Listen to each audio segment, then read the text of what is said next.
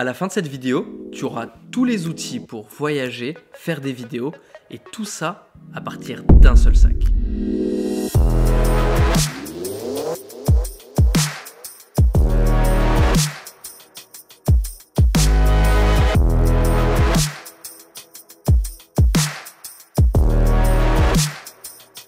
Peak Design, une marque de référence pour les photographes qui a été créée sur Kickstarter par des financements participatifs tellement les photographes avaient besoin de matériel fiable. Je l'utilise depuis que je fais de la magie pour protéger mon matériel. Alors je me suis équipé du Everyday Backpack 30 litres un format qui me permet, si jamais je voyage, d'avoir mes affaires, mais également mon matériel pour faire des vidéos. Dans cette vidéo, je vais vous révéler mon plus gros secret. Mais pour que vous puissiez comprendre, il faut que je vous révèle l'entièreté de mon sac, que vous ayez du contexte et que vous compreniez. En effet, depuis cette année, je suis passé à l'écosystème Mac, avec un MacBook Pro 16 pouces puce M1 Max, j'ai l'impression de découvrir la vie. C'est un plaisir incroyable pour le travail et ça me change de cet Alienware. L'écosystème Apple est vraiment parfait, je filme énormément de mes vidéos avec des iPhones et pouvoir échanger des fichiers d'un appareil à un autre avec une facilité déconcertante, c'est vraiment vraiment un plaisir.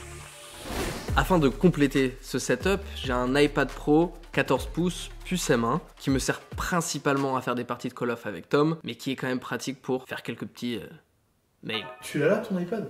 Ouais, il est là. Je vais tout droyer.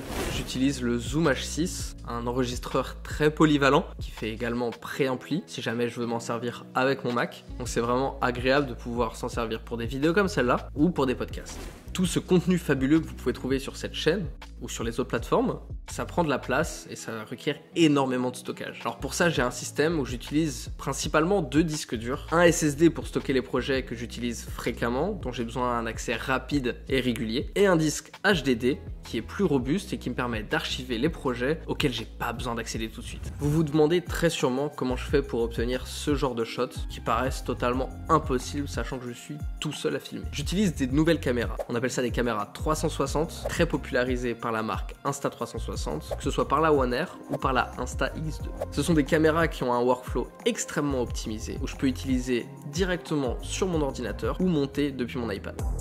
Il est temps que je vous raconte ce secret. Vous avez vu énormément de vidéos sur cette chaîne YouTube, des clips que j'ai pu réaliser, même sur des chaînes qui ont beaucoup plus d'abonnés, des campagnes que j'ai pu faire pour quelques clients. J'ai pu réaliser tout ça et je n'ai même pas de caméra. Alors j'ai la chance d'être extrêmement bien entouré, d'avoir des amis qui m'aident à réaliser les plus beaux projets possibles, mais la plupart des choses que je peux réaliser, c'est soit avec mon iPhone ou avec du matériel que j'emprunte. Alors oui, on peut créer du contenu sans caméra. Le fait est que je réalise la plupart de mes vidéos et tout le début de cette saison 3 du One Vlog avec un iPhone. Ce qui me permet de partager avec vous les derniers accessoires que j'ai dans mon sac pour cette année 2023, un Gorilla Pod et une fixation pour iPhone. En effet, le téléphone est toujours sur moi et très souvent chargé. C'est une caméra de très grande qualité qui filme jusqu'en 4K et qui permet toujours d'avoir un plan de secours. Jusqu'à présent, j'ai l'iPhone 13 mini. Le form factor est incroyable, il me rappelle énormément l'iPhone 4 et rentre parfaitement dans la poche. Avec un écran où tout est accessible d'une seule main, il permet de créer du contenu avec une facilité déconcertante. En 2022, j'ai d'ailleurs réalisé énormément de stories et de reels que vous pouvez retrouver sur mon Instagram, donc je vous invite à vous abonner. Travaillant avec beaucoup de collaborateurs qui sont équipés chez Sony, c'est vrai que la FX3 semble être pour moi une solution toute trouvée. Après, d'autres constructeurs comme Lumix ont pour cette nouvelle année des nouvelles propositions. Quoi qu'il en soit, le pas n'est pas encore franchi et je compte bien partager avec vous les meilleures vidéos, quelle que soit